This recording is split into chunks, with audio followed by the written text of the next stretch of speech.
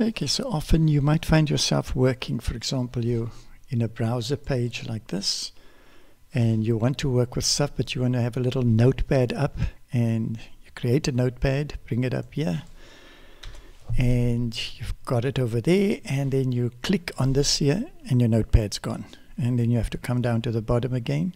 So you could go and do one of few options, but I'm going to show you one that's really going to work well for you and it needs a little application.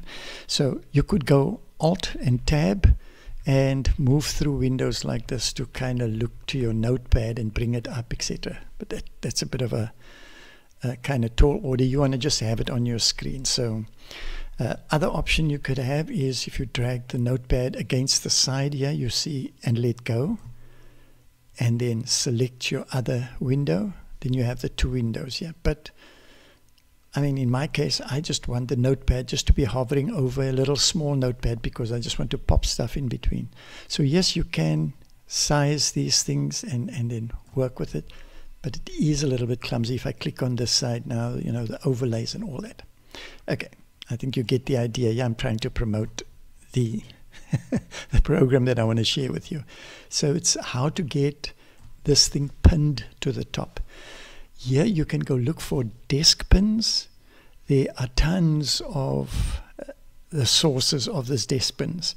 Most probably your safest one is to go to GitHub.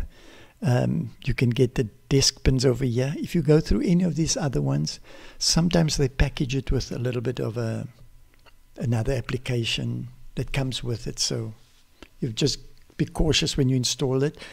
I, I'm going to send you to my uh, Telegram channel where I've got a whole lot of software where I've got DeskPins that I use that pretty much comes from your kind of GitHub uh, repository. So you can come to GitHub and that if it's a bit unfamiliar territory, then just go to my Telegram channel. Okay.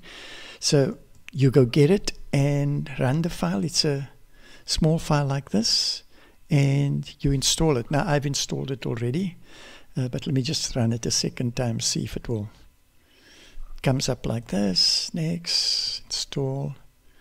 Okay, I'm going to say ignore because it's it's trying to overwrite my existing one. Okay, so there I've got it. If I now go down here into hidden icons, I'll see it there. Initially, when you start off, it won't be there. So I'm going to just go here and say close DeskPins. Okay. Initially, when you come, you're going to have your DeskPins in your menu item. And when you click it, you'll see it comes up here as a little icon.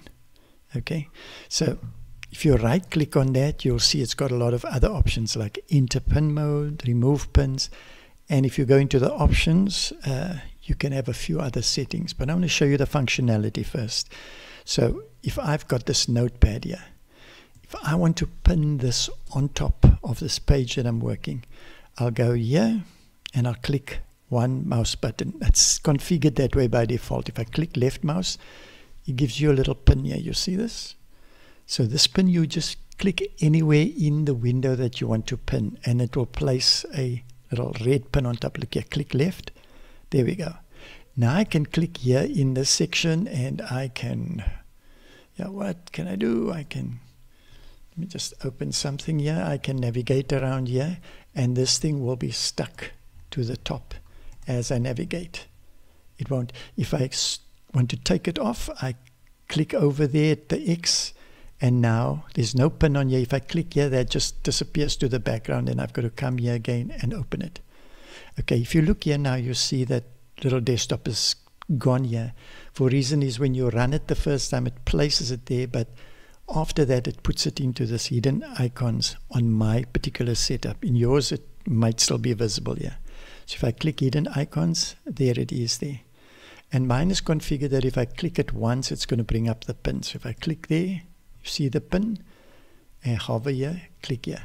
And here's another interesting thing is if I want to open up another window, say I've got, this is my Notepad++, and I also want to work with both of these here. If I pull out another pin now, whichever pin I pull out last will be the closest to me, the highest it will be pinned the highest. By that I mean if this is here, you see this is pinned on top. If I come and I put another pin onto this window here, you see, even if I'm clicking here, it's not bringing this to the front. However, if I go there and I click on pins and I click in the back one, it's going to pop to the front because now this one gets uh, prominence in the setup. Okay. Bottom line is the pins work by pinning these little windows. Whatever's pinned will stay on top and the thing at the bottom won't affect it when you click on it. That's the beauty of this. So let's just go quickly through. If I right click on this pins icon, uh, okay, again, I can remove all pins here or enter pin mode. Enter pin mode is the same as me just clicking on that icon there. If I go to options, okay, yeah, the pin that you see there is this red color and I can change it, okay. You can fiddle around with tracking. I'm not going to get into all the nitty gritties here. I'm not familiar with some of them though. So tray icon activation. If you have to double click, then you'd have to go here and double click that icon. But this is just a single click. Okay. Auto pins, you can enable rules, probably put in the enable a rule and then set a rule where you give a different, look, there's classes and titles and stuff like that. That's a bit higher grade there. Okay, so hotkeys are probably the one that you would use is Control F11 to bring the pin up. Okay, toggle active windows, Control F12. I don't pretty much use this. I just come and click there because I just need a pin. So, yeah. So maybe we can try Control F11. Let's try that one out. I'm going to remove the pins, hover over there and click it. It's gone. Uh, let me pull this one back. Uh, where is the other one that I was busy with? I'm going to just over there and pull it back. Was it Control and F11?